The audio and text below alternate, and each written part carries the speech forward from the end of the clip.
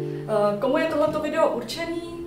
Je určený především těm, kdo mají zahradu, nějaký svůj pozemek a chtěli by pomoct ještěrkám a ještěrům. Komu naopak určený není? Těm lidem, kteří mají hospodářství, starají se o zvířata, protože ty takovýhle místo určitě na zahradě přirozeně mají.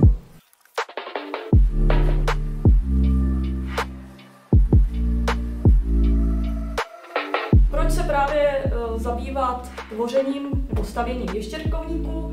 To proto, že u nás ještě v posledních dobách ubývá a ubývá jich z toho důvodu, že jim ubývají přirozený stanoviště.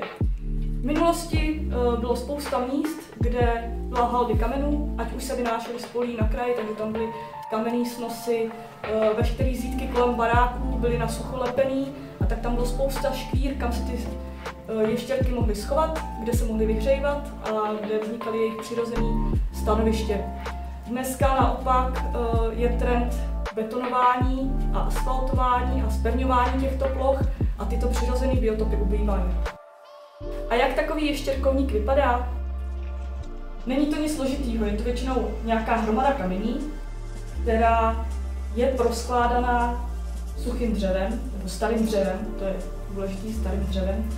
Uh, jaký dřevo můžete použít? Ideálně je z nějakého listnatého stromu, který je náš, to znamená stará vrba, starý javory, jasany, duby. To je takový ideální dřevo.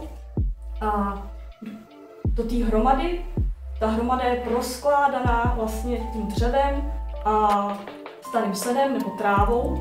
Ona jak se rozkládá, tak uvolňuje teplo a tím, že uh, vrstvíte kameny, dřevo, trávu, postupně ta tráva stará a to dřevo vyhnívá tím tam vznikají skulinky, do kterých právě můžou zalejzat tyhle živočiši. Důležitý je ještěrkovník stavět na nějakém osluněném místě, protože ještěrky se rádi vyhřívají. Součást ještěrkovníku je i pískový lože. Je vhodný, když je část třeba pod tím ještěrkovníkem, to znamená zatížená kameny, zastíněná a část je na sluníčku. Ten písek zase může sloužit pro kladení vajíček ještěrkám a i dalším živočichům, jako je hmyz. A ještěrkovník můžete doplnit o různé skalničky, na které se na něj dají vysadit. To jsou rostliny vhodné na takovéhle extrémní stanoviště, nepotřebují uh, příliš mnoho vody, protože tyhle stanoviště rychle vysychají, rychle vymrzají, takže jsou, se to jedná o malé skalničky. A ty, když kvetou, tak zase přilákávají hmyz ten se může stát právě potravou. A tady už můžete vidět, jak takový ještěrkovník vypadá. Můžete vidět, že krásně zapadá do okolní krajiny a že i taková hromada kamení nemusí vypadat nezledně, ale může to být hezké zpestření zahrady. A abyste věřili, že takový ještěrkovník funguje, tak tady už je fotka z našeho ještěrkovníku v jabloném podještědí. Tady máte obrázek ještěrky.